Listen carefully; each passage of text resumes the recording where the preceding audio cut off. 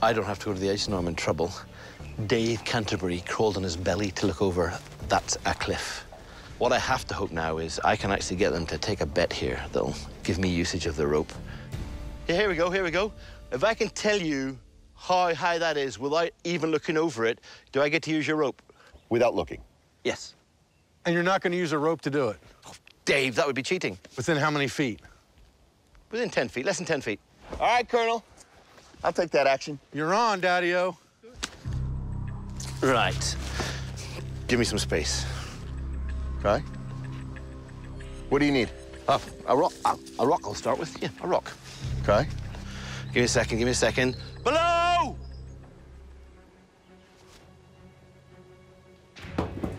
Two and a half seconds.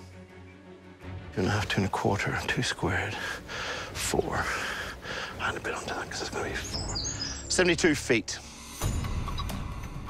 I gotta say, I think that's pretty close just from eyeballing it.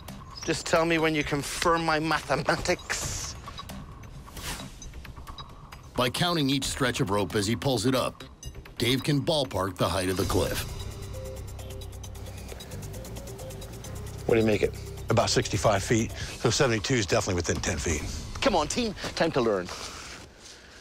Distance traveled is the initial velocity times the time it travels, plus half of the acceleration times the time it traveled squared. So it's a half of 32. 32 feet per second per second is the acceleration due to gravity, which is 16 times um, 5, which is the time squared, which comes up to 72.